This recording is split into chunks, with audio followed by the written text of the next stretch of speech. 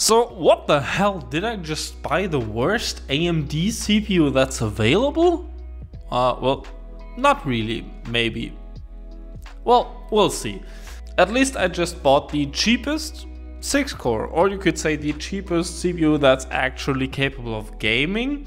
And uh, many of you, yeah, noted in my video about the $600 gaming PC that this CPU was a terrible choice because the Ryzen 5 5500 was a, such a much better deal. Well, relax, and we're going to talk about this today. I bought the CPU about one year ago and it is still relevant because it is still about the most budget CPU or most budget system basic component, I guess, that you can get for getting into gaming. And this is probably going to be true for the next generation that's going to be coming out for the uh, AM5 socket or whatever, because that CPU here is still an AM4, which is an aging platform, but still can be upgraded up to a 5950X, which is quite a capable 16 core. But still talking about the low end right now. I already did a guide on undervolting on this CPU and I have used it for about one year now, so I can give you my long-term feedback on it, how it went for me in the past year. And so if you want to, buy, uh, to build a really cheap setup in the future, maybe with a used one of these, on a $200 budget or whatever, then uh, this video, video might help you with choosing the right CPU. First of all, what is the CPU? Well, it's a 6 core it is Zen 2 architecture, so it is not Zen 3, so not really uh, the 5000 series, so that's why it is uh, called the 4500 and uh, this is because it is not really a 3600 anymore or like 3000 series because it has some improvements for, from the 5000 series but it is not Zen 3 yet.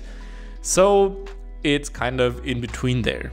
Comparing it to the 5500 which would be Zen 3 so it brings a higher clock speed with it and also higher IPC so higher gaming performance at the same clock speed. But that CPU again in most countries, again I'm not saying all because in some countries actually the CPUs are very similar in price, but in most countries those CPUs are about 30% more expensive. So that's at least one thing why you might consider the cheaper 4500. As well as that, the CPU has 6 cores and 12 threads and a lower L3 cache amount than, for example, the 5600X or even the 3600X. So the previous generation, but one step up.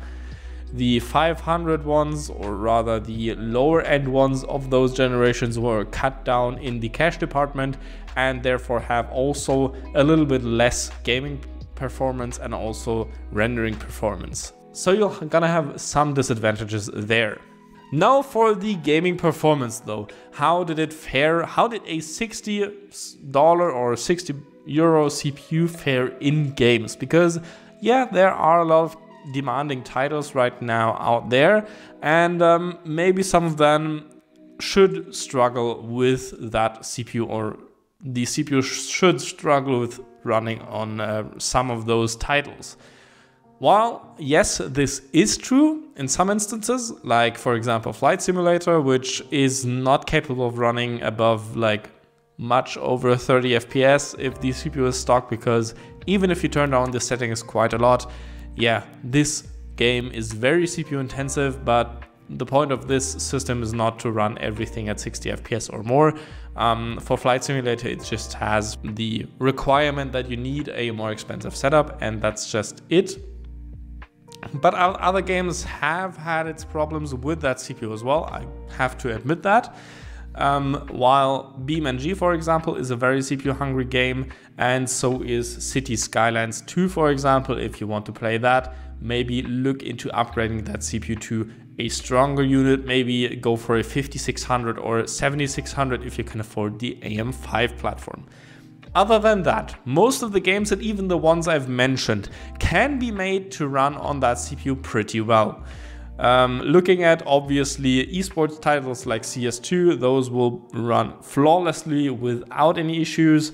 and also Hogwarts Legacy, which can be CPU demanding, runs quite well. So does BeamNG if you choose the right settings.